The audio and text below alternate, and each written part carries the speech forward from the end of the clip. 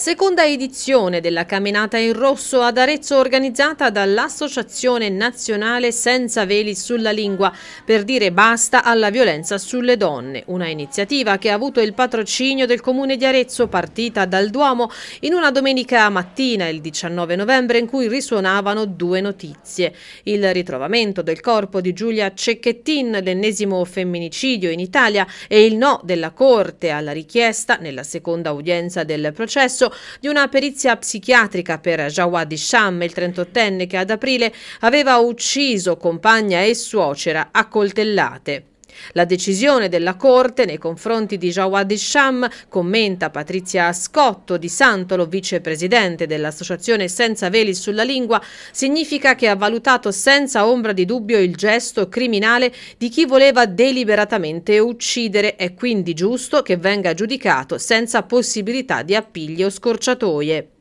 Su questo si esprime anche l'associazione Pronto Donna a margine della presentazione delle iniziative che porteranno al 25 novembre, giornata mondiale contro la violenza sulle donne. Quanto sarebbe stata pericolosa una perizia psichiatrica in un caso come questo? È legittimante e distorcente del fenomeno, eh, quando poi in realtà eh, le valutazioni psichiatriche vengono fatte eh, agli autori dei femminicidi a posteriori, quindi quando già sono in carcere, sono condannati, dimostrano che non è un problema psichiatrico, eh, è un problema eh, culturale e se noi non, non mettiamo questo, questa lente nel guardare il fenomeno svilupperemo sempre degli interventi inadeguati, non leggeremo il fenomeno fino in fondo e non interverremo nel modo adeguato.